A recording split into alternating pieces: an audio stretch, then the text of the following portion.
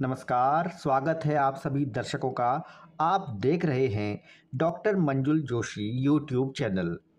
आज की वीडियो में आपके लिए लेकर आया हूँ कुछ बातें रसोई के वास्तु के बारे में। शास्त्रों में रसोई का महत्व बहुत ज़्यादा बताया गया है और इसीलिए रसोई से जुड़े वास्तु में कुछ नियम भी बताए गए हैं। रसोई में यदि दोष हो तो घर की महिलाओं का स्वास्थ्य अक्सर खराब रहता है, ग्रह कला होती है सारा पैसा, बीमारियों या अनावश्यक रूप से खर्च होता है। आइए जानते हैं, क्या है रसोई में वास्तु के नियम या उपाय? रसोई घर का निर्माण हमेशा अग्निकोण में ही कराएँ।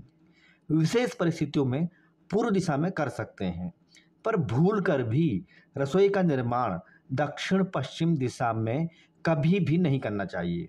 साथ ही साथ टॉयलेट नहीं होना चाहिए रसोई के साथ, और मंदिर भी नहीं होना चाहिए, रसोई के अटैच भी और रसोई के अंदर भी नहीं होना चाहिए। खाना बनाते समय गृहिणी का मुँह उत्तर या पूर्व की ओर रहे और जो चूल्हा है घर का, जहाँ पर भोजन बन रहा है, वो भी आग्नि कोण में ही होना चाहिए। पानी की व्यवस्था आपको हमेशा ईशान कोण में करनी है। यह बहुत शुभ माना जाता है। इसके अलावा बिजली के जो उपकरण हैं, ओवन, मिक्सी इत्यादि दक्षिण पूर्व में ही रखें। टूटे फूटे बर्तन कदापि न रखें। दाल के डब्बे, भंडारण की जो सामग्री है, उसे वायव्य कोण में रखना चाहिए।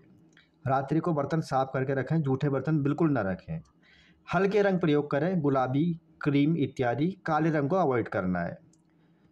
और बहुत ज़्यादा भी सामान आपको भर करके नहीं रखना है रसोई घर में। साफ़ सफ़ाई रखें, दवाइयाँ बिल्कुल भी नहीं रखें। प्रकाश की उचित व्यवस्था करें ताकि खाना बनाते समय लाइटिंग प्रॉपर हो। तो साथियों, यह कुछ टिप्स हैं और खाने का जो नमक है, आपको हमेशा कांच के बर्तन में रखना है। वास्तु दोष यदि आपकी रसोई में है तो जो अगले दो तीन उपाय बताऊँगा, उनमें से कोई उपाय करें। यज्ञ करते ऋषियों की फ़ोटो आप लगा सकते हैं किचन में। माता अन्नपूर्णा की फ़ोटो आप लगा सकते हैं। फल, फूल इत्यादि के फ़ोटोग्राफ आप लगा सकते हैं। और कांच के बर्तनों में सेंधा नमक की डलियाँ भी भर करके आप अपने रसोई घर में रख सकते हैं। तो साथियों, आज के इस वीडियो में बस इतना ही।